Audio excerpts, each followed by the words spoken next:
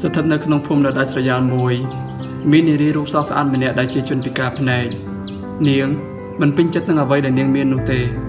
នាងមិនពេញចិត្តនឹងជីវិតដែលមិនអាចមើលឃើញអ្វីអ្វីគ្រប់យ៉ាងក៏ដូចជាពិភពលោកទាំងមូលដែលនាងចង់ឃើញនោះទេ នាង បានស្អប់ខ្លួនរបស់នាងយ៉ាងខ្លាំងហើយនាងក៏ស្អប់ជីវិតរបស់នាងផងដែរ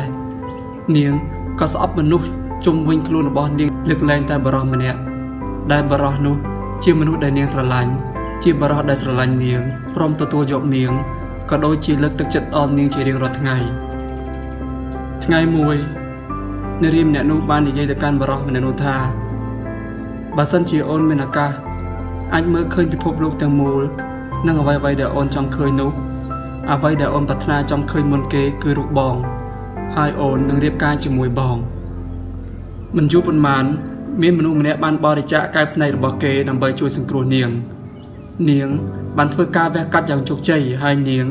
ក៏បានបំពេញបំណងប្រាថ្នារបស់នាងដែលចង់មើលឃើញពិភពលោកទាំងមូលក៏ដូចជាអ្វីៗគ្រប់យ៉ាងដែលនាងចង់ឃើញព្រមទាំងបរិះម្នាក់ដែលនាងចង់ឃើញខ្លាំងបំផុតនឹងប្រាថ្នារៀបការជាមួយគាត់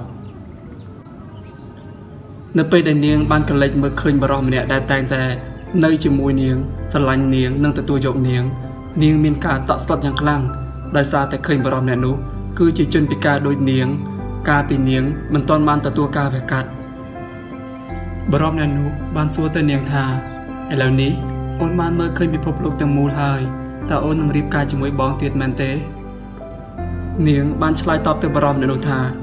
ខ្ញុំមិនអាចរៀបការជាមួយលោកបានទេ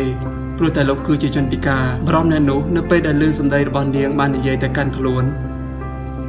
បរំអ្នកនោះមានការតូចចិត្តយ៉ាងខ្លាំងហើយក៏ដើរចេញទាំងទឹកភ្នែករហាម ថ្ងៃមួយមានសម្បត្តិមួយច្បាប់ បានមកដល់មុខផ្ទះរបស់នាង ហើយនាងក៏បានបើកមើលសម្បត្តិនោះ នៅក្នុងសម្បត្តិនោះអត្ថន័យនៃការសរសេរគឺរៀបរាប់ដូចខាងក្រោមសូមអូនជួយថែរក្សាកាយភ្នែករបស់បងផង ពីមនុស្សដែលបងស្រឡាញ់ខ្លាំងបំផុត។